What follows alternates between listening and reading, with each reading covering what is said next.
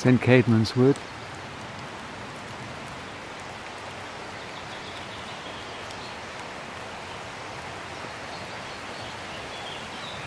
It's in Valley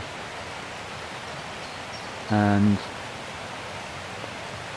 it's in Cell. Looking up the valley Impressively beautiful trees.